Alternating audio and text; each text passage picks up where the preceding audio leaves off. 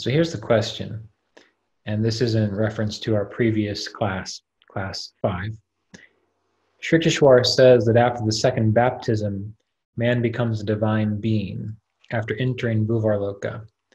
My understanding has been that Bhuvarloka is still Maya and rather corresponds to the astral plane, astral body, and that divine being on the spectrum of wakefulness, clarity, and soul unfoldment is closer to the Son of God on the model in the book. Can you comment on this? Yes. And first, you're right. The closer we get to um, that level or space on this diagram in Sri Yukteswar's Holy Science related to the sons of God, we're getting pretty much as close to uh, what anyone in this current era and age would consider to be a perfect divine being. So there's no question about that. So the question is, why would Sri Yukteswar say that Bhuvarloka um, shows uh, through the second baptism or through baptism in the second birth um, a, a realization of being a divine being?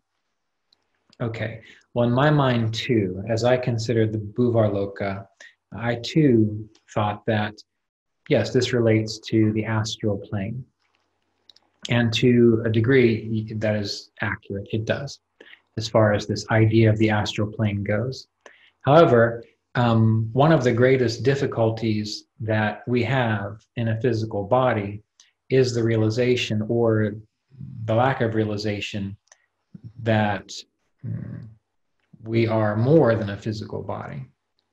And so, as long as we are identified with this body and this mind and this personality and gross matter, uh, we are significantly locked into a state of not really truly being able to appreciate uh, what you might consider to be a divine presence.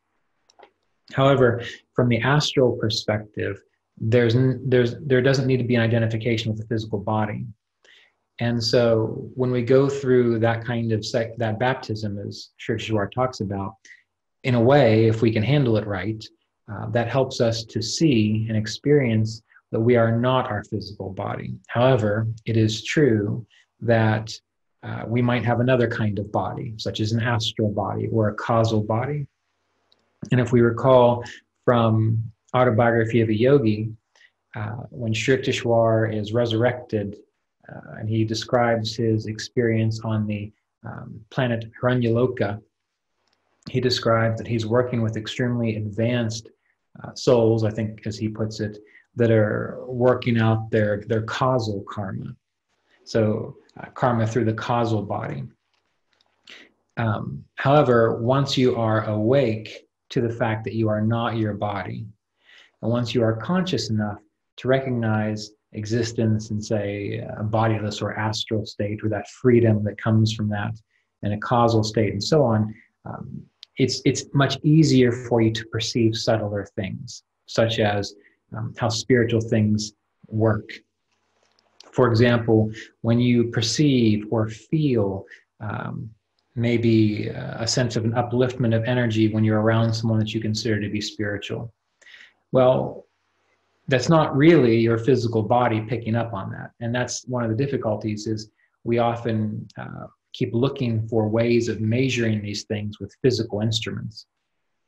And much of these things can't be measured with physical instruments but it is our, our astral and causal uh, antenna or our astral and causal body which is able to perceive these things.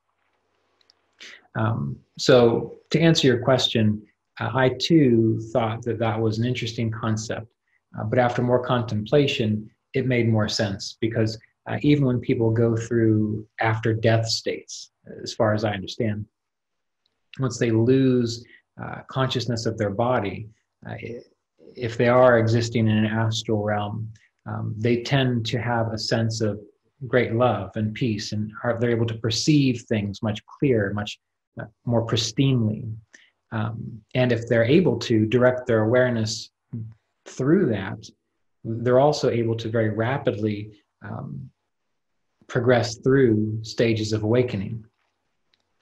But that requires uh, a significant amount of previous work. I don't know if you've ever seen the movie Inception. I saw it a long time ago and it kept popping up um, on my Netflix saying, Watch this. So I watched it again. And you might remember in the movie Inception, uh, they're going into dreams. So, so they're, they're doing some kind of weird work with dreams, going into people's dreams. And as you know, when you're in a dream, it's often hard to tell whether you're in a dream. So the big problem with, this whole movie is one of the main characters, he's really riding that fine line since he does so much of this work of am I in a dream, am I not in a dream? So he comes up with a token, something that has a particular weight, a particular balance to it that he knows how it works in the real world. It's, it's a top, so you can spin it, and it you know it spins for a little while, then it stops. But if he's in a dream and he spins it, and it just keeps on going, and it just keeps on going, or it acts weird or something like that, he knows he's in a dream. Now, the reason I tell you this isn't really to get you to go watch Inception because it wasn't. It was interesting, but not quite as good as I remember it being when I was in my twenties.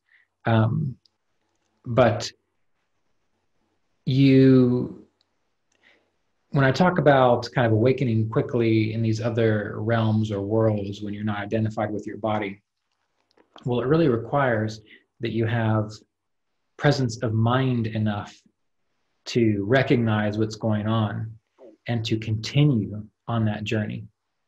That is why, um, even in meditation, Mr. Davis would always say that no matter what meditative experiences come bliss, light, nothing, darkness, anything like that he always eh, eh, said go go beyond it. See if you can go through it. Always inquire what is beyond this. And what you'll notice is one day when you transcend your body is that if you've spent enough time in meditation being aware of how mm, the rise and fall of life how how your states of consciousness change how you know one minute you're in a dream the next minute you're awake and then you're in a dream again. If you're able to kind of through the duration of your physical life get a handle on that that recognition of oh i am dreaming now but i am still here. Oh i am meditating now but i am still here. Oh i am peacefully interacting with someone but the real i is still here. Oh someone is dying i'm completely overwhelmed with grief but i am still here. Oh someone hit my car and i'm really enraged because i just bought this car but i am still here. It is that that inner essence, that inner uh, awareness, which always is there. That's what we're aiming to identify with consistently, no matter what changes outside. We don't get pulled into it, get knocked off course. We don't lose ourselves into something. Um, so we always have to recognize that no matter what happens to our body, to our mind, to our personality, the intention, the capacity to meditate, or really it's that capacity to uh, keep our sense of presence, the, the better we get at that in this lifetime with what we're dealing with now, then when the body drops and we forget that we drop, that we even had a body, well, there'll be this moment where you catch yourself, oh, wait a minute, okay, there, there's something that I needed to be doing here, and that is maintaining my presence so you don't get lost and sucked into the astral realm. And then you lose yourself in all the beauty of it, and new desires arise within the mind, and then you end up having to come out the birth canal again and start over again in the physical plane. Now, these are all just theories, but I think they're useful theories to consider because they're encouraging you, no matter what, to focus on, work on maintaining the clearest level of awareness possible at all times, even in your dreams. And that's one things that one of the things that, that yogis can do, and that's one of the values of um, uh, yoga nidra, is it helps you recognize when you're dreaming. It helps you recognize that shift. And it's a strange thing, really to be in your body one moment and then all of a sudden even kind of forget that you had a body or a life before that but then there's something in there that says wait a minute. The i that i am recognizes that this is more of a projection or, or something else. And then it can center itself again. And it's always about coming back to that sense of center no matter what's going on. So one of the things i used to do when it came to the idea of dreaming is as i went through the day I would constantly kind of ask myself, is this a dream? Am I dreaming? Not not to play with that philosophy of the world is a dream and that sort of a thing, but so that the more I ask myself throughout the day, then at night when I dreamt, I was more likely to, in the dream, kind of all of a sudden ask, Am I dreaming? Because you see, the things that you think about and consider during the day, they tend to pop up in your dreams. So the more that you're able to explore, Am I dreaming? Is this real? E- even if it's just part of an exercise, what happens is when you fall asleep and start dreaming, that comes up. Wait a minute, am I dreaming? You don't even know why you're asking, am I dreaming? But it's because you have that that that momentum, which is why theoretically, if we consider an idea of reincarnation, let's say that right now you're meditating, you're you're endeavoring to recognize your true self, the infinite consciousness, Sat, and so on. Well, that's just kind of like one stage in awareness, and you, your body might die, and you go into the astral realms, which is like a dream, and you remember that again, and you continue this work, and then you come out again in another lifetime uh, in a physical body, and then say this time around 18 or 16, you become interested in meditation again. You don't know why, you can't remember, but it's because of that past momentum. Um, so we have to remember that there is there's everything that's happening, and then there's us, like pearls on a string. And the, the, more we can keep remembering that string that goes through the pearls of the lifetimes or the dreams and the deaths and so on, uh, the more we no longer get, the, the, more we, we no longer care whether this pearl is perfect or this pearl is uh, slightly, you know, different and so on, because you know you are the thread. Anyway. it's a long-winded way to answer the question that was asked. Um, as far as Bhuvarloka goes, if uh, through the meditative process you come to the realization of Bhuvarloka, essentially what's happening is um, the sphere of electric attributes, as the gross matters of the creation are entirely absent from the sphere, and it is conspicuous by the presence of the fine matters only. It is called shunya, or the vacuum ordinary if you come to that through your, your spiritual practice and your meditation, what you're coming to is the realization that you're not your body, that you are aware of the fine electricities of things. And that is a that is a, a wonderful place to be to continue to explore and to continue to have that upward momentum if we're going to give it directions uh, towards full embodiment of the experience of where the love the the area on the diagram of the, the sons of God is.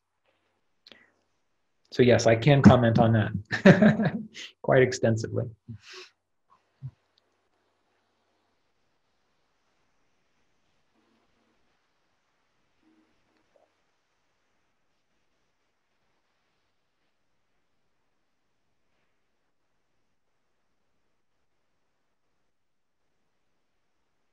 Okay, can you please elaborate on what is meant by the God sent luminous body of Radha uh, this has the relationship of John the Baptist. All right, let me find that.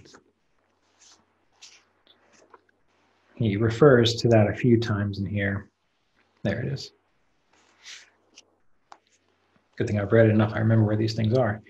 Um, any advanced, sincere seeker may be fortunate in having the godlike company of some one of such personages may kindly stand him as a spiritual preceptor.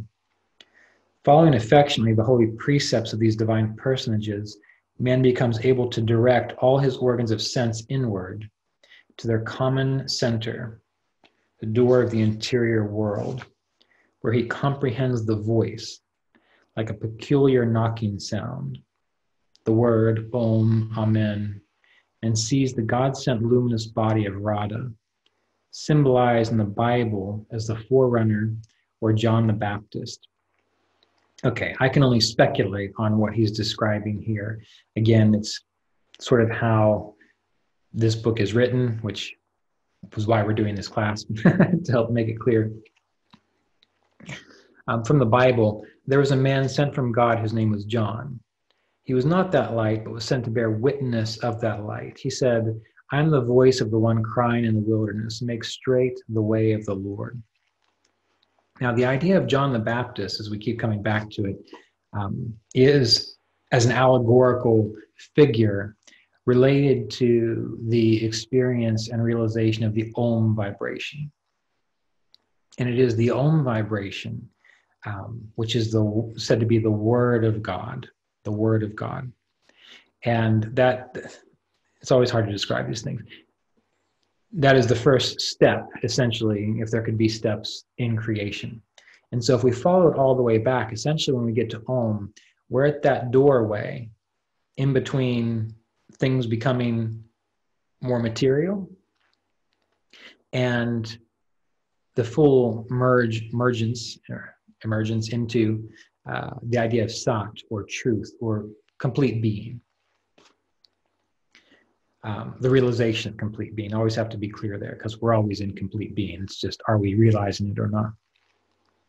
And so the light of christ or the christ consciousness is fully one with sat or truth or wholeness or realization of wholeness. So by listening to the Om vibration, that is what serves as the baptizer, John the Baptist, so that we may look upon, experience, feel, become, realize uh, that light of Christ consciousness. Uh, Radha is, from Sri Yukteswar's perspective, uh, the equivalent of John the Baptist, the equivalent of John the Baptist. Now, that chant that I did, it's on the newest Kriya Yoga podcast, at least as of May 3rd. There might be a newer one coming out tomorrow. I don't remember. I believe so. Uh, but I decided to post a, a chant um, Radha, Radha, Radha Govinda Jai. Radha Govinda Jai, that's it. Uh, and that chant, spirit and nature, spirit and nature. And so Radha is this representation of nature. Now, spirit and nature are one and the same, ultimately. Um, nature reflects the individualized the separate, the idea of distance, the idea of time, and so on. So, Radha and John the Baptist are representative of those factors in creation which are aware of what is true. Meaning, right now, many of us, uh, we're down here in this body thinking that's all there is really. We have an idea that there's more because we talk about it. We intuitively experience it. In meditation we go deep into it. But as we experience more of the om vibration we experience more of meditation we begin to see in a sense the paleness of the world and that's why after people meditate for a little while they start really being driven by money they start being stop being driven by their hormones. They stop being driven by their addictions because they see they see it for what it is. They're, they no longer see it as the only thing. So the nature part, John the Baptist nature, Radha nature, um, this is right there in the the the idea of the Om vibration, which creation has happened, but it's still clear and aware and knows what has happened, meaning it sees, can experience the creation, but it's also intimately close to and recognizing of what is true of uh, spirit. So, and that's what we're doing is we're, we're moving towards that. Ultimately, hopefully, ideally. Another question related to class number four. Uh, I'm stuck on the concept of repenting what happens as we repent in practice? Well, first of all, again, I, I don't know if this is part of your issue, but it is important to recognize that some of these words have um, certain meanings to them based on our upbringing and culture and so on, which aren't necessarily useful. So it might be that you have to work out whatever your hangups are about the idea of re- to repent. If that's not an issue, then don't be too concerned. Uh, but to repent just means to change, essentially. It's like, um, let you know, let's say someone's in a relationship and um, you know, there was they they love their partner and so on. But as time goes on, you know, they have kids, the job wears them down. They feel uh, sort of a little more empty inside. Like, geez, I don't really have the the the vitality I had when I was a, a teenager, when life was just full of promise. And then uh, they meet a, another person, brand new, you know, different smile, different look, and they start thinking, "Wow, that's a that's a great person over there," and they make me feel alive because they give me attention, and you know, they're not nagging me to take out the trash, and and then the the person ends up getting or having an affair, and it's it's a enjoyable time except for all the stress and guilt involved. And then finally, the actual spouse finds out and kicks him out of the house. And so they get kicked out of the house and they realize just how good they had it with their beautiful spouse and their lovely children and how they let the world they let the world wear them down and so they come back to their spouse and they admit they say i'm i'm so sorry and they mean it heartfelt mean it i'm never going to do that again and repenting isn't i am sorry take me back repenting is the not doing it again you see that's why um, when people want to apologize to me, I say, look, I don't care if you're sorry. I'm like, just don't do it again. So that's my, when people say, I'm sorry, I don't respond to it. When they don't do it again, that's what, what I respond to. Um, so in practice, repenting simply means turning away from the mistake of thinking that this world is going to give you everything you want and satisfy you. It's not true. Your gambler mentality or your addictive mentality will think, well, maybe just this time. I mean, think about it. With in your life, how many times? I mean, most of you are have a few. Uh, most of you have a few. Let's see. How do I do this? Oh, never mind. We got to take care of. Most of you have a few decades under your belt and if you really think about it, how often have you thought, well, if I move, things will get better? If I get divorced and find a new partner, things will get better. If I get a new car, now sure, if your car is about ready to break down, great, yeah, get a new one. But or if I just try to get these new clothes, or if I just change myself somehow, things will get better. You understand what I'm getting at? Well, there's this this happens in the world and it keeps happening. That's why people are so addicted to it because it'll give you a little bit and then it, it, it pulls you away again. So the repenting is like recognizing you're an addict. and you know the next, um, what do they call them? Not hit. Uh, I don't know. I've never been an addict. But the next, the next thing, the next bump. Anyway, the next thing is not going to be the thing that makes it work so repenting is recognizing that and then living from that understanding. Repenting is having a realization everything is one everything is god everything is divine consciousness that is a that is a baptismal moment and repenting is i'm going to live like that's true now and really doing it not just keeping it in your mind as a little idea to say over and over again but to really truly do it no matter how it responds but to truly live that way. Um, it's a tough thing to describe. But it, it really comes down to the idea of what do you know to be true? Or what do you intuit to really, truly be accurate? If you are living as though that is the case, then you are repenting you know, there's a reason that uh, where it is. It just made me laugh when I read it for some reason. Let's see. There's another quote from the Bible.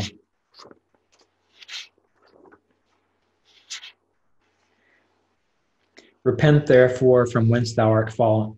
Remember therefore from whence thou art fallen and repent. So you, this is this is where the work comes in the work isn't just sitting there and cranking out kriya pranayams and say, great, I did it. You know, I, I put in my reps.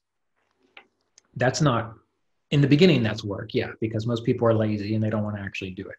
But once you get that going, I mean, once it's something you do no matter what every day, whether you feel like it or not, well, then the real work comes to, to be well, I read these texts and I have these realizations and I know what is true, but am I living like they are true? Am I really living like they are true? And if you are living like they are true, then you're doing it. But if you're just kind of not sure, kind of keep it in the back of your mind, but you're not really honoring it. You know, uh, maybe there's a family member that you have that really just tweaks you and irritates you to death. Well, if everyone is God, then you have to treat them like God. That doesn't mean you let them walk all over you. That doesn't mean that you even put up with their shenanigans. But that means that you see them as God and you don't take anything they do personally. And then you respond appropriately and remove yourself from the situation if you need to. But still, you're not in the back of your mind thinking, I really wish you were different and would change so I could like you a lot more. You say, No, you are God too. I don't particularly like this manifestation of God, but you're peaceful inside when you say that. It's not judgmental. And you just accept them as God. And then you move on with your life. So if everything and everyone is God, you treat them that way. You know, when I think about the political situation that we're in today, you know, I don't agree with some of what politic politicians are doing. I think a lot of them are just idiotic three year olds. But I see them as God. There's nothing I can do about it. And when I see people, you know, uh, this is one of the reasons I hate Facebook or social media of many kinds. Uh, I try to avoid it because every time I get on there, I do get on there for uh, like musical forums. You know, I'm all about that because we're talking about music. But in order to get there, I kind of got to go through my normal page and I see all the stupid stuff people are saying on both sides. And I think, you know, we spend all this time criticizing the three year old um, people, the, the three year old politicians are throwing tantrums that act like children. But people sitting around making that statement, you're being a three year old throwing a tantrum, well, that's true. But that doesn't mean when you bring up a sense of like animosity about it and wishing they were different, that's not going to change anything. I, I, I wanted to get on uh, Facebook and, and, and request that everyone stop posting stuff like, can you imagine what's happening politically again? And instead just hold a sense of love for the people that you feel pity for. Don't, po- po- don't post anything. Just recognize them as God and know that whatever state they're in of God, that's just what's happening. And that will start to quit. That will start to, to negate or uh, break the circuit of reinforcing that, that behavior. But that's neither here nor there. Um, and that's not the that's not the Bible quote I was looking for. Here it is. I know thy works in charity and service and faith, and thy patience and thy works. And the last, and the last to be more than the first. That's also not what I was looking for. There it is. Nevertheless, I have somewhat against thee, because thou hast left thy first love. Nevertheless, I have somewhat against thee, because thou hast left thy first love. Remember that example I gave earlier about the, the spouse and the affair and then repenting. There's a reason I, I use that example because of this quote. Um, I have somewhat against thee because thou hast, in a sense, left thy first love. God is the one thing that will satisfy you we chase everything money, guns, sex, drugs, TV shows, partnerships, uh, vacations, different destinations. We chase all of those things, thinking that somewhere in there, that's where the self is. Because we're so addicted to looking outside. That's why just sit down, shut up, and observe. Be awake and observe that is where you are going to find it. But that's like probably even worse than trying to take an alcoholic who's been drinking for 50 years and strapping him in bed without any kind of uh, help. That, it's, it's, you know, we think addictions, physical addictions are bad, like drug addictions or alcohol addictions, getting over those, but it is the addiction to the world that we are overcoming. And that's a hard thing to overcome and that's why there are so few people who practice Kriya Yoga or any kind of meditation and achieve or experience or realize a state of clarity because they're not willing to let go of everything except God because it seems crazy. And of course, to everyone in this world who worships money, sex, power, and so on, it is. You become nothing, but you are nothing. It's just that for 40 to 80 years, you think you are something. But remember, there's eternity there. and it's more important to recognize what you are in eternity rather than just for that short four to eight decades worth of time. If you met Ramana Maharshi on the street, you'd probably think he was a bum. If you met Yogananda in person, just coming into uh, meeting him, not having any any previous experience with Yogananda, you'd think he was freaking crazy. Truly, you would. I mean, really, think about the stuff he says. think about the stuff I say. Think about the stuff you say to people when you try to uh, explain things spiritually speaking. But the whole point of all of this is that the idea of, of repenting is living what you know to be true, not making excuses for yourself about why you'll live that way for these few hours, but not the next few hours. Why you'll practice the yamas and niyamas when you're around your friends that you like, but you're not going to practice them when you're around uh, people of the opposing political party that you think are ruining the world. Repenting means to do it all the time. And when in, in this Bible quote, in what Sri Yukteswar talks about leaving my first love, it all comes down to the fact that we have left our first love, which is awareness, spirit, clarity. These are all just words, but you know what I'm referring to and we think that something else is going to do it. Um, it's a hard thing to discuss, and I haven't thought through enough to come up with a really wonderful uh, sermon to give you about it. But it is through experience that you figure this out, whether it be through the experience of meditation and withdrawing from the world and getting that that that aha moment or that sense of satisfaction or that sense of realizing that you you you are you aren't defined by anything. That freedom that comes from that if you can get over the fear of that then you know what i'm talking about. That's why i encourage these practices and to try to do this stuff versus sermonizing you about it because you can't talk people into anything. So hopefully this was helpful to you sarah. And if it wasn't please um, Oh, I see you did some write some more. So let me get back to that. And um, I'll speak one more paragraph or two to Sarah's follow up. Where did it go? There it is.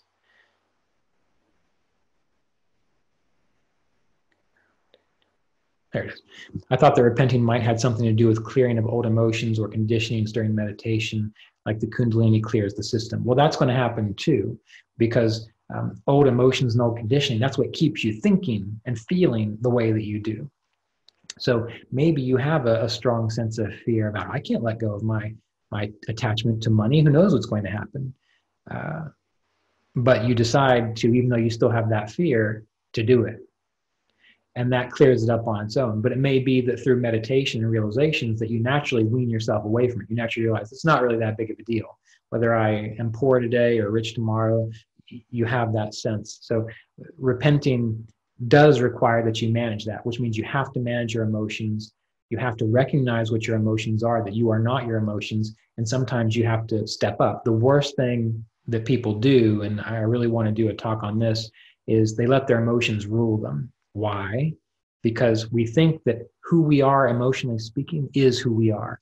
That's how a lot of people define themselves well, I'm this kind of person. I act this way, and this is my presence, and people expect that from me. Bullshit. Well, not bullshit that they expect that from you, but that's not who you are. So they go around sustaining this kind of approach to life just because it's their conditioning that they're comfortable with. Oh, I'm just a moody person. I can't help it. You know, I'm an angry person. I'm just afraid all the time. Yeah, you might be, but if you are a yogi, you get over it. You find a way to get over it. So repenting might be recognizing those things and moving through them, which meditation will do on an energetic level, which doing it will do more quickly. Um, and it, it just works itself out with the practice.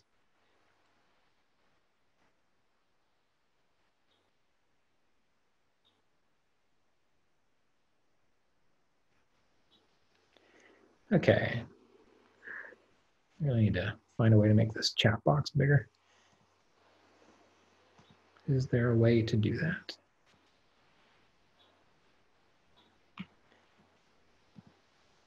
Pop out. There we go. Great. Perfect. Okay.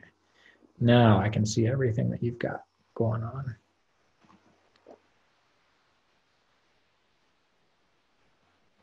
Okay, on the exercise you described where we imagine everything we've ever wanted in life coming true. Now that we've imagined it, we've had it, and it's done. Um, is it a way of fantasizing instead of focusing on the truth? And isn't it possible one could attract things to oneself or manifest them using creative visualization that way? Is that okay? Sure, if you want to do that. Um, certain things are useful, like imagining I am prosperous and I am healthy. You imagine those things, you're going to be more likely to make choices that lead to that direction. And so it's more likely to happen. And then you're more settled and you're able to meditate more. Those are great things. But spending a lot of time in spiritual circles and people focused on creative visualization manifestation, and in the end, it's just one more thing that you're wasting time trying to make happen versus recognizing what is true. And that uh, exercise where you describe that you already have everything, you're already fulfilled, that's not, in a way, that's not a creative visualization or creative imagination, although it may work that way. That's not the purpose of it. So don't even, shouldn't even said anything. But the point of that is so that you are utterly still and undisturbed by desires. Because it is in that place where you are still and undisturbed by desires that you will recognize the string through the pearls, that you will recognize what you truly are underneath that 40 to 80 years of personality, where you will tr- find real happiness, real happiness, because everything is there and you don't need anything and you are free so I, I, recommend that so that you are able to move more quickly into that state. Um, and then whatever is meant, whatever is, is on the way or, or able to pop up in your life to fulfill you physically, it'll happen. And if it doesn't, it doesn't matter because you're still free. So we, we have to, in my experience, avoid um, trying to visualize things to bring them into our life. I was thinking about this the other day as I was cooking dinner um, I don't know if any of you have uh, Instagram, but that is the one uh, social media that I kind of like because I only have to follow like two or three people, and they just post pictures of nature, which is what I love. Uh, but I post stuff on Instagram, which is mainly just what's happened today. It's like 12 second clips, it's pictures of the garden, or something I've seen on a walk, or something I'm cooking. And uh, the last thing I, I posted was uh, my Instapot cooking. Like the lid was open and um, things were bubbling because it was on saute. And uh, I was I was watching it and I thought to myself, you know what? People don't know how good they have it. If they just had an Instapot, ooh, lightning. Uh, if they just had an Instapot, you get an Instapot. That is amazing. Hopefully everyone's still there and I didn't get kicked offline. Let's see. Yeah, still connected. Uh, but if you had an Instapot, I made uh, an Indian dish that before would have taken me two to three hours to get everything put together. I made it in like 14 minutes. Why is that so beautiful? Because if I made all my meals in an Instapot, then I would have so much more time to sit and meditate. I would have so much more time to study these things. I would have so much more time to explore uh, all these truths and ideas and embody them all the things that we have that save time and energy today, my goodness, even if you had just very little, you are in a wonderful place, a wonderful situation technologically to have the time to do the work. And the reason I tell you this is because the idea of creative visualization, often I see so many people truly spending time visualizing every day, I'm going to win the lottery. And I'm not kidding, they tell me this uh, or I'm going to meet the perfect spouse. And I've known them for 20 years and they're still doing it. Okay, well, maybe tomorrow they're going to win the lottery and it's all going to be worth it. Maybe in five years they're going to meet their soulmate and it's all going to be worth it. Or maybe they could have spent the last 20 years realizing the self, and then they would have no need to define themselves through money or other people, and they would be blissful and free. What do you prefer? I know what your personality prefers, but deep down in there, what do you prefer? Uh, and then finally, what I'll say about creative visualization is um, I do think it is useful for most people who can't find a way out of um, the problems that they're in. I mean, so many things are so simple that if you just start to have a sense of prosperity, well, what happens if you're clear and you really want it? You're sitting around, you don't have any money. You know, I really need some money. I need some prosperity. Someone, I feel like I've got money. I feel like I've got prosperity. And someone comes along and says, Hey, um, I've got a job hauling mattresses in a warehouse. Uh, will you take it? wow, there's your opportunity to make some money. But what do most people do? That doesn't fit with my creative visualization. Whereas maybe they start working in a warehouse and then that allows them to maybe take some night classes to improve their vocation skills and get a job that they can do well that they are skillful at and can contribute more than hauling around mattresses, which is also a useful job. So with creative visualization, I think it's very useful, but where most people get tripped up is they don't they don't recognize the opportunities that are given to them because their creative visualization is so strong that they kind of say, well, that's not really the way I wanted to see it go. so I have some mixed feelings on the idea of creative visualization, but I do feel that people should try to feel prosperous and healthy and free and active. Because when they start doing that, then they might say, well, maybe I can go for a walk today, whereas they've been sitting on the couch for 20 years. And they recognize, wow, I walked a mile and I feel pretty good about it. Not much for a lot of us, but that's a start. And then they maybe a few weeks later say, maybe I can walk two miles. And eventually, as the years go by, they're a runner. I know one person who drank, who drank, who smoked three packs of cigarettes a day. I mean, drank liters of coffee. Um, kind of an angry person. And now in his 60s, uh, he loves running, doing exercise, um, trying to be a vegetarian and so on because he, he, he saw the possibility that it was there. And so that, that positive visualization, that creative visualization gave him the space to say it, it is easy to take steps in that direction. Um, okay, enough about that.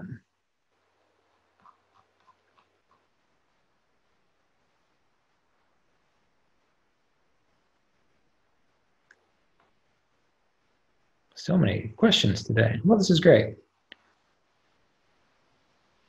Seems like it's not quite on the topic of the holy science exactly, but that's all right. Is there any real difference between lucid dreaming where you can consciously control the dream and yoga nidra practice? Yoga nidra is where you are awake and aware, not your body, but you are awake and aware no matter what's happening, meaning if you're practicing yoga nidra, your body may be completely asleep, not dreaming. You're still present. You experience it. Let's mute this.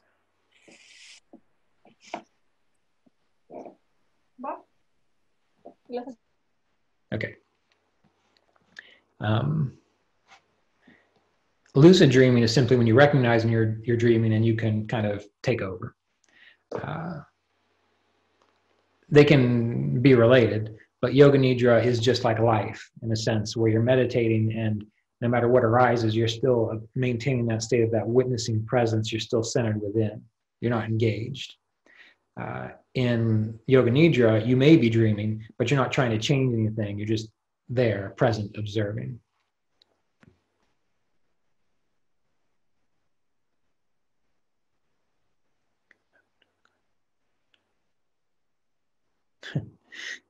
What is happening to one's consciousness while spending time on the internet? Your brain is withering, your soul is crying for mercy, um, life is ebbing out of you, you're wasting time. There, now you know what's happening when you're spending time on the internet.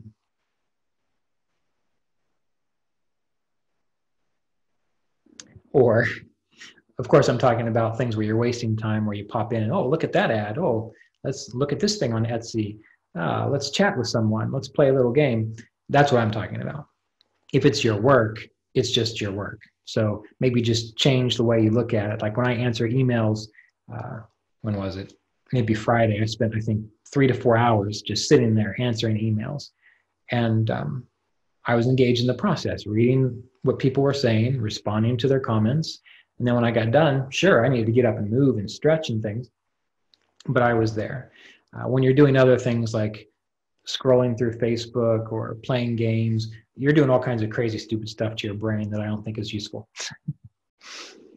now, of course, there are some games that help to stimulate your brain. I don't know what those are, but they do exist. Uh, for optimal health, do you think we need sex the same way we need water and food? If not, how about more general interhuman intimacy, such as friendship and touch? That depends on you. Um, you know, Melissa, my late wife, she was uh, a massage. Well, I was a massage therapist too, but she was a massage therapist, and she was a doula. I mean, she helped babies be born, uh, and she was very interested in sort of uh, neurofeedback, and um, you know, touch is very important for for some people, especially if there's not any kind of stigmas or hangups about it. Like being close to someone, skin to skin contact, as she would always tell me, uh, promotes oxytocin, which is a feel good hormone. Again, the difficulty is that so many people have been abused, um, have weird, screwed up ideas about sexuality or relating to other people that it's, it's hard to uh, to get that a lot of times but healthy touch. You know, patting someone on the back, shaking someone's hand, giving them a hug, not one of those weird hugs where you hold on. Mm, not that, just a hug. uh, yeah, that can be very useful. Uh, interhuman intimacy, such as friendships and touch, it depends on the person. Some people really need to connect to others. Um, you know, there were times when I would spend days by myself alone working on stuff uh, books or videos. Uh, and I just needed to get out and go see someone. So for me, playing music was my way of doing that. And why did I love playing music for that reason? Because it didn't require that I got in anyone's business. We just got together and had a good time. We didn't have to talk and complain. We just made music and it, it was great. And then at the end of the two or three hours, parted ways, went home, see you later. And then there's that interaction there. Uh, but that's me. Some people need more than others. There's a great book called, um, I think it's called The Five Love Languages. The Five Love Languages. And um, that can show how people respond to certain ways of kind of feeling good through exchanges within relationships. Uh, sex itself is just really meant to be for procreation. Sure, it's fun, and sure, you can lose yourself in it, but that's the problem. It's mainly an addiction for most people in the Holy Science, Yukteswar talks about one of the reasons that um, people have problems with that. It is good to have a healthy sexual function. But the reason people have so many problems with that is because of what they feed their senses and what they put into their body. If you lived in a place with healthy humans, healthy minded humans, and if you lived in an environment where you had fresh fruits and vegetables, fresh water. Um, there were any kind of weird psychological things going on in the group. Uh, the sexual function would probably be very diminished, except for when it was time to procreate. That's my thought. Those times that uh, I would really, really focus on really limiting my uh, uh screen time, even for work. I mean, I would just set on this day, I'm going to do my work. But the rest of the time, I'm just going to write by hand. I'm going to spend time in nature. I'm going to meditate. That was, of course, way back when I had very little responsibilities. And, and when I would focus on just eating fresh foods, cutting out all the processed junk, my, my drive was lower, not in the sense that I felt depleted. It was just that there wasn't a constant drive in that direction. And as Sri Yukteswar says, there's less irritants within the system, which causes that. It becomes more natural. So relationships, depending on the person, can be good, can be supportive. Many people are addicted to relationships, though, so you have to ride that fine line. sexuality in a healthy relationship with a, a, partner that's willing and you get along well and you are able to understand each other's needs is very satisfying and uplifting. Um, but it's not the same as uh, as a person needs food and water. So.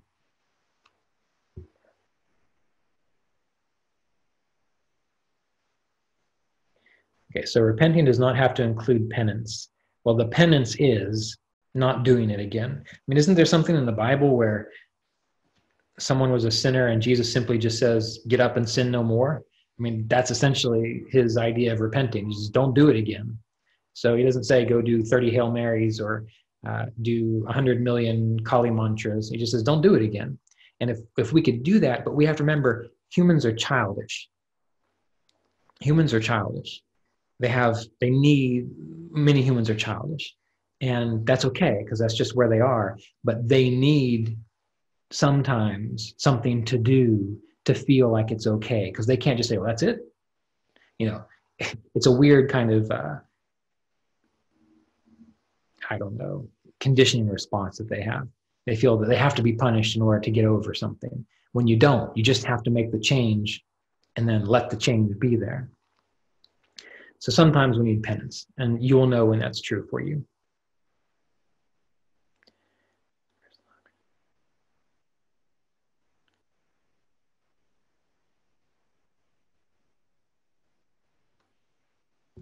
Okay, so my question, this is related to the focus on uh, losing your true love or first love as related to the Bible quote. Um, is this something we all lose to varying degrees the moment we come into our bodies as a result of Maya? Yeah. I mean, think about it. Why is it that some people, uh, as soon as they hit the teenage years, they start exploring things spiritually, where others don't even get to it until they're in their 60s or 70s? Why is it that some people have a real proclivity to pick up the holy science or the yoga sutras and say wow you know i don't I, I can't quite put it into words but i get what this guy is saying. Whereas other people pick up this book 20 times and say this is so over my head. So for whatever reason yes uh, there are varying degrees of forgetfulness. And of course if we go back to the idea of what have you been doing theoretically in your past lifetimes if your intention has been to remember, you're going to remember much earlier the next time you come around, if you come around. It's like people who are savants on musical instruments. They've probably been doing that for a few lifetimes in that theory. So when they pick it up when they're nine, it just comes out. It's like, wow, well, I've got 60 lifetimes of working at it. So of course, now it's going to happen that way.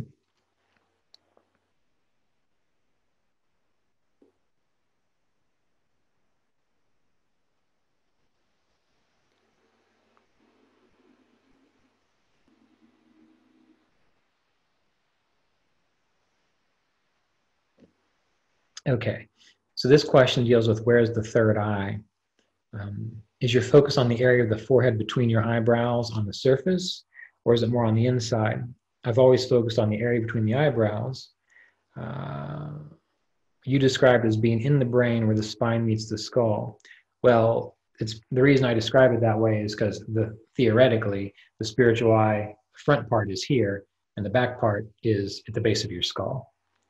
You know that's why uh, you can if you focus kind of in that plane then you're focusing on your spiritual eye. But if you simply hold your awareness to the frontal regions of the brain that's going to be enough. The skull in between the eyebrows right around here. Right in here.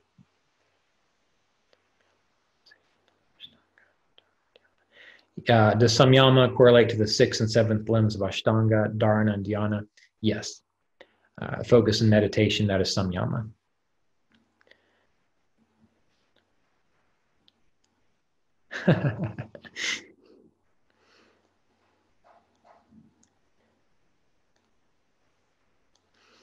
Is it a failing on my part that I don't ask deep questions like the one from Donnell and others? All I focus on is trying to strengthen and deepen my meditation to make me open to truth. Is this too simple for Kriya Yoga apprentice? Um, you know, Donnell is just a brown noser. She just likes to ask those questions just to to make me say, "Yeah, Donnell, you're on it."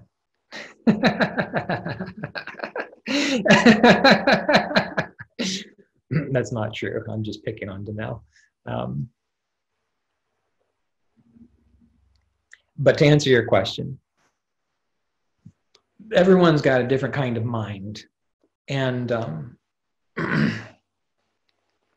some some minds are more technical than others, and that's not a judgment or a fault on either side because you know to think that someone has a more technical mind is better that's not always true in fact it's and this is not true in Danelle's case at all but since you mentioned her that's why i'm saying this um, uh, sometimes it's, it's the, the highly technical questions which are, are, are kind of less useful because they're just trying to engage the mind and brain too much. But you've heard me talk enough about that that I think you understand why I I, I mentioned that. Um, trying to strengthen and deepen your meditation practice and make you open to truth that's that's that's perfect. So it's not too simple it's actually perfect because um, the kriya yoga path isn't really that complicated. Uh, and that's a wonderful way to approach it. And i know all of you i know all of you do it that way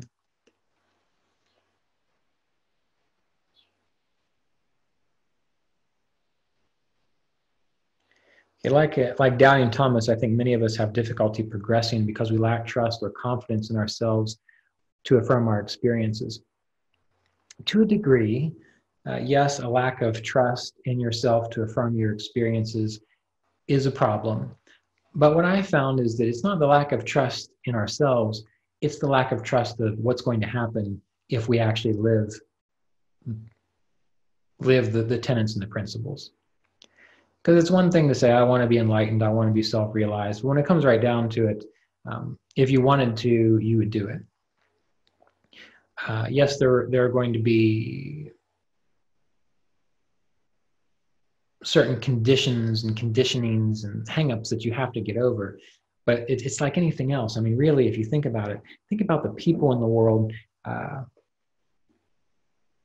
and what they accomplish and what they have to do to accomplish those things.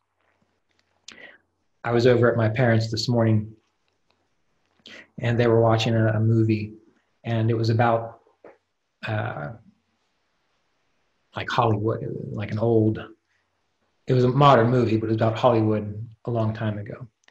And it was about this, this actor who wanted to be an actor.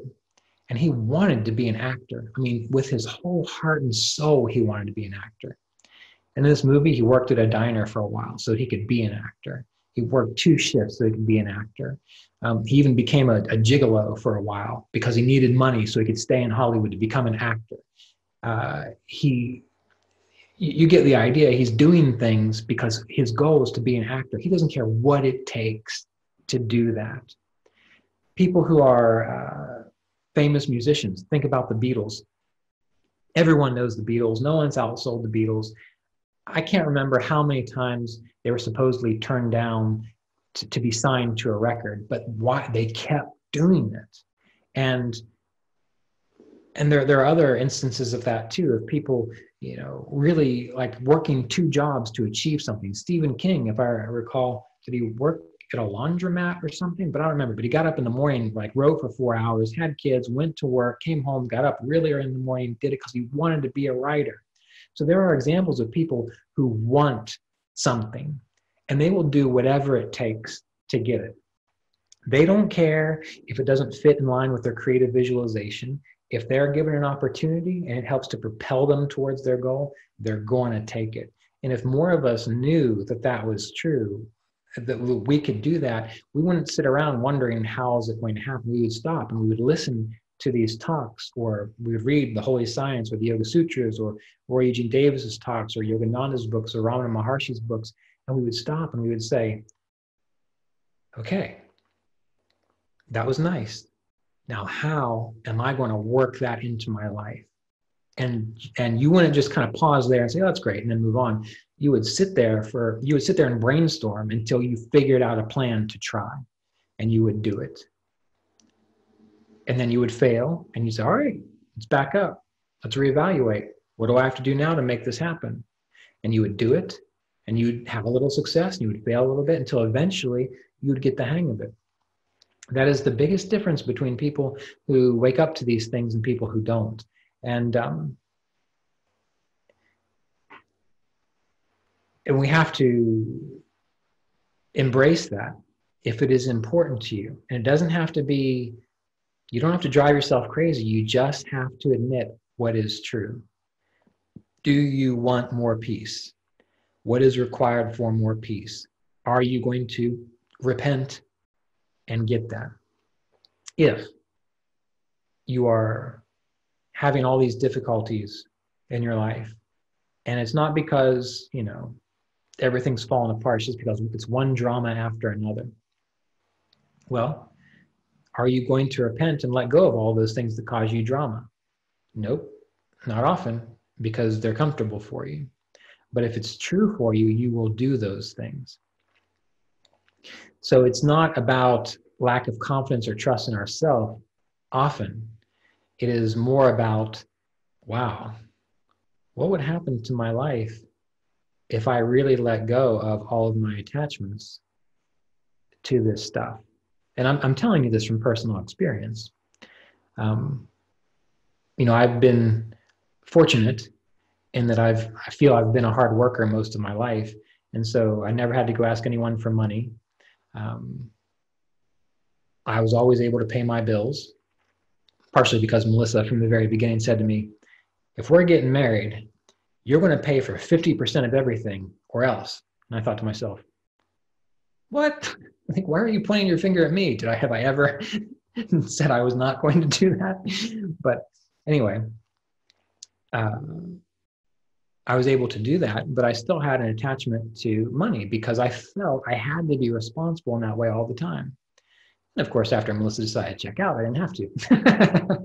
but anyway, bad joke but it gave me an opportunity to say, you know what, life is too short. I'm not going to stress myself out over these things. And so I let it go. And I found more freedom, less stability in certain areas, but that's not what I'm looking for stability in this world. I'm looking for stability in spirit. When it came to relationships with other people, uh, I had to let go of attachments to my teacher, Roy Davis, as far as being in a physical form, uh, the love of my life. Um, even friends that I made, I just decided, you know what? I'm just going to let all of that go. And I'm not going to be attached to anyone. And whoever's here, I'm going to treat as though they are an expression of this divine consciousness. And when they're not there, that's just the way it is. And that created a great amount of freedom within me. Less, less sense of obligations to others and so on. Um, when it came to worrying about even health related things, uh, because being a massage therapist and Ayurvedic practitioner and interested in all these different health routines, of course I think about that stuff a lot. But eventually I said, you know what? I'm not even going to worry about that anymore because I know I'm not this body. I'm going to eat as well as I can. I'm going to exercise. You know, I went for a 14 mile bike ride yesterday. I try to do that a couple times a week. But I'm not going to worry about it. And that created so much more freedom, even when difficulties arose physically so what? You get over it one way or the other. So oftentimes the lack of trust and confidence isn't about ourselves, it's about what's going to happen to our lives if we really let go of all these things and do what we know we need to do for our own realization. But what you find is if you experiment with that and you try to walk through those fears that you have of letting go, you pop out the other side and you recognize that was I wasted so much time on that fear, and you feel silly. So building up trust and confidence is part of part of the path. So it's good to mention that. Um,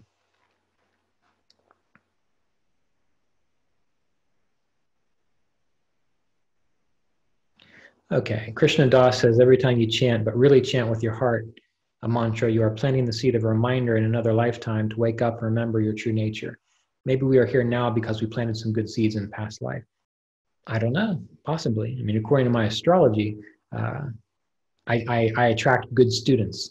So it's just my astrological chart attracting good students. um, but the chanting is important, what you just described here. I wouldn't say it's planting seeds in a future life. I would say it's planting seeds for right now. And uh, I feel like I've talked about this recently. Maybe it was in a, a previous discussion uh, for this class. But yes, if you chant and you really give your heart to it, not only does it balance your nervous system and your body and all these different aspects of your physiology, but if you really do it, you know, that chant, um, Radha, Radha, Radha, Govinda Jai, spirit and nature dancing together, victory to spirit, victory to nature. If you really chant that and, and, and consider it, well, then when you go about your day after you chant it, you start seeing spirit and nature as reflections of something similar in one whole thing. And that alters how you interact with spirit and nature. Uh, so, as far as um, mantras go, don't look at them for the next lifetime. Just look at them as right now. You know, Om Namah Shivaya. I acknowledge with reverence the infinite supreme consciousness, which we call Shiva. Well, if you chant that with intention in your meditation and you really mean it, then when you go out into your day, you are aware of the underlying field of pure infinite consciousness that makes all this happen and that is within and around you. And so, if you live as though that is true, you are moving into what is real, which is the only thing there is this now, this present moment. So, there's some value to all of these things. okay. Well, um, I'm going to ask a question and only respond if the answer is yes. That way I'll wait. So, do you have any more questions? If so, respond yes, and then I will wait for your question. If after a minute or so there are no responses, uh, then we will go ahead and meditate together for a bit.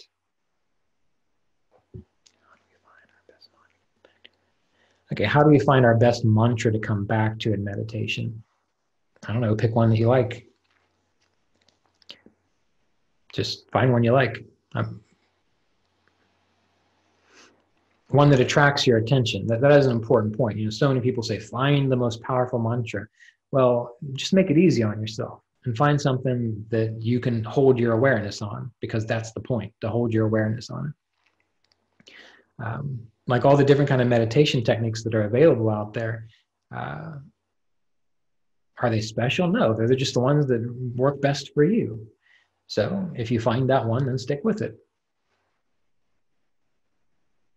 That will make it much easier than say you know if someone told me uh, all right in order to meditate well you have to go and you know, would be a bad meditation technique i wouldn't like let's see uh, I don't know, just if there was a meditation technique I couldn't do well, and they said, you got to do it this way.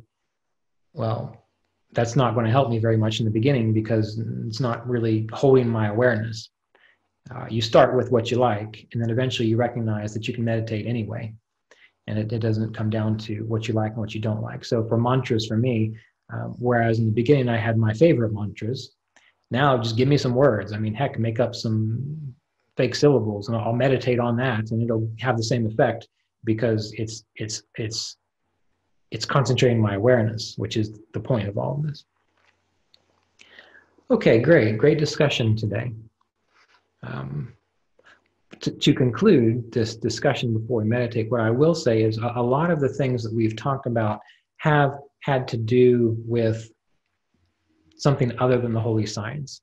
Not a big deal, but um, I believe May 10th, we have either the Kriya Apprenticeship monthly gathering scheduled, and then the 13th, we have the Patreon monthly gathering scheduled. Um, and all of you are, are probably either Patreon members or um, Apprenticeship students. So save your questions that are more general for those.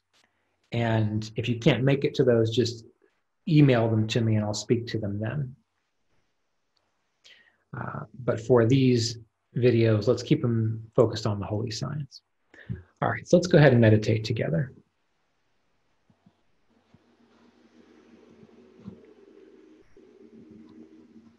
Great turnout, by the way. Seems to keep happening. So however you like,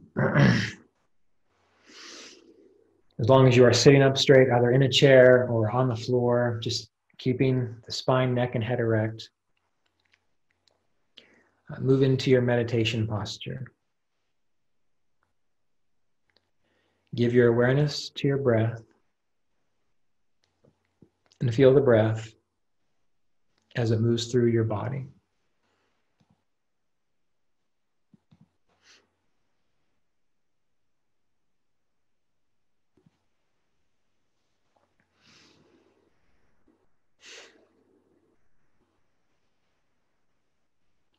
And it can be helpful to take a few deep breaths just to get yourself fully into your body, really filling up the belly, into the chest, and let it go. Filling up the belly, into the chest, and let it go.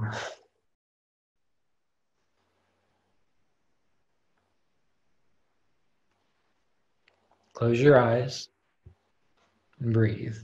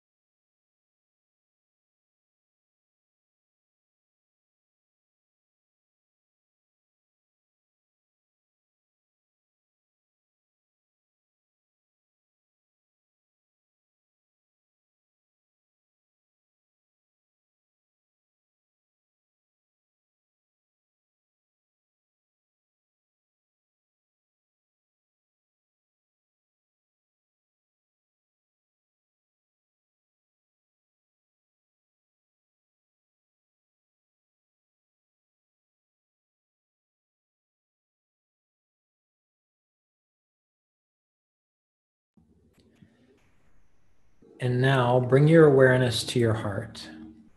And feeling the heart, on the inhale, mentally chant Om. On the exhale, mentally chant Om. Let your awareness sink into the heart, letting go of attachment to everything that we've discussed, everything that seems so important to you. Right now, you're inviting that presence, that radiance within the heart to shine forth so that you can experience directly what you are beyond all of these changing phenomena that you consider to be yourself.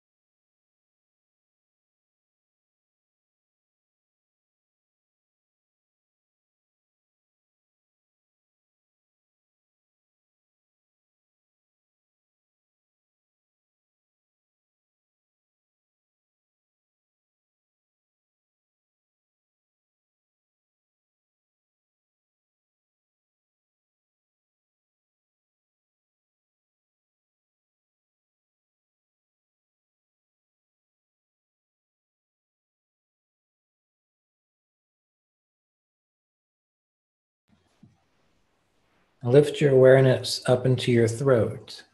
Feel your throat. And as you breathe on the inhale, hear and feel Om. On the exhale, hear and feel Om. And let your awareness sink into this point of awareness as you mentally chant Om, following the breath.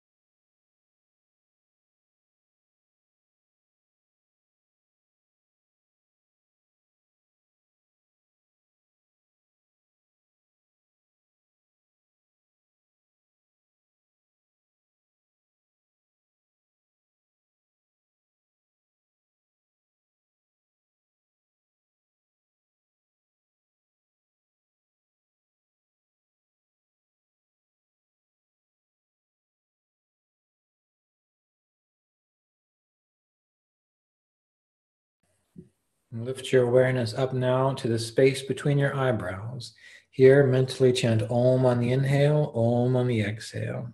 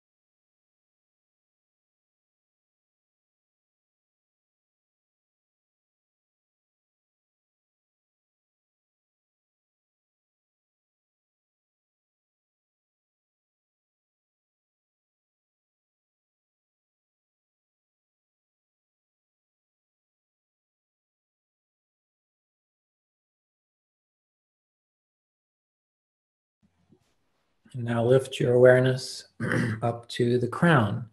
And here on the inhale, mentally chant Om. On the exhale, chant Om. And give your awareness fully to the crown.